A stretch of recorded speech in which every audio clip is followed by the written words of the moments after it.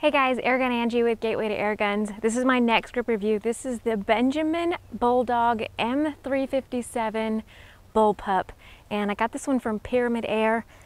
And this one doesn't just come as a rifle, it also is available as a kit. Check it out. There's a lot of things that go with this one. Let's grip it.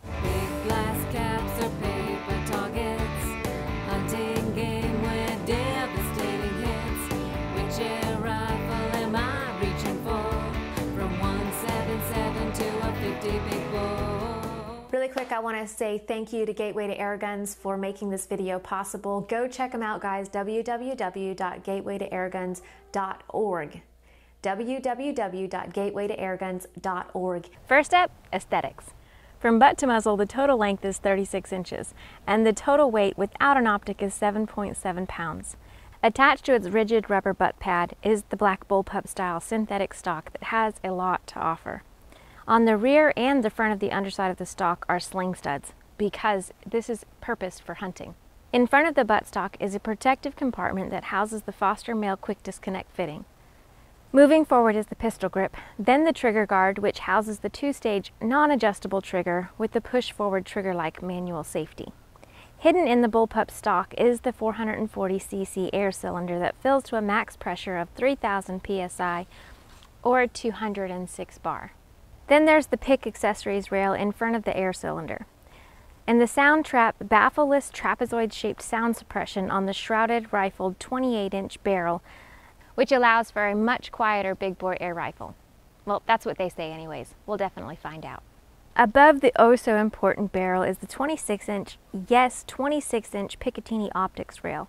Now on to the action. On the right side of the rifle you'll find the easy to read manometer manometer, manometer, manometer, manometer, manometer. Then the breech where the five-shot rotary mag fits perfectly to allow quick follow-up shots. The side lever cocking handle is located behind the breech and is reversible for left-handed shooters. We're not done yet. That just tells you about the gun. But what about all this other stuff? With the kit, you'll get everything you need to get to the range or to the blind. Most importantly, the owner's manual. Be sure to check it out to get the full potential out of your Bulldog.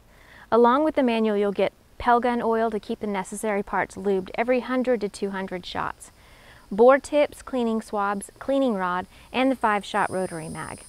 And more. You'll get a Benjamin rifle bag and sling, a bipod, a center point 4 to 16 by 50 scope and mount, and lastly, but a nice little surprise, the Benjamin Nosler hunting ammo. So you're basically all set. Next up, operation. First up, safety, safety, safety. Next, there's no open sights here, so mount your optic. I'm using the included center point 4 to 16 by 50.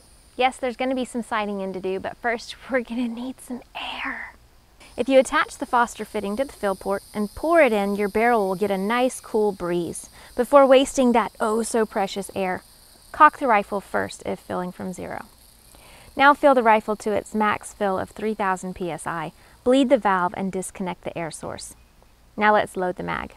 This one's another simple one. Rotate, insert, rotate, insert, rotate, insert, blah, blah, blah, blah, blah. Super easy. Pull the cocking lever back to the rear position, insert the five-shot mag into the breech, push the cocking lever forward, aim at your intended target, disengage the safety and pull the trigger. All right, guys, so next up, first shots. Oi, that was a little low. Just a little bit low.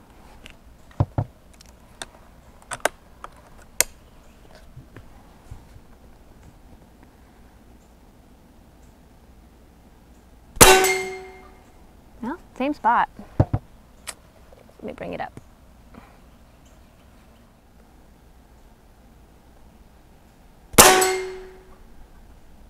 Still low. Hmm. And I believe, oh, I got, that's it.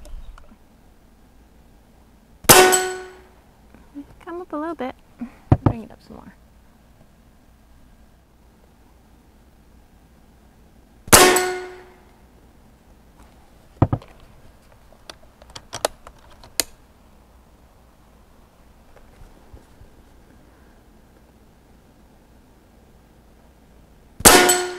Oh yeah, Bud is definitely a big gamer, guys, so it's hard.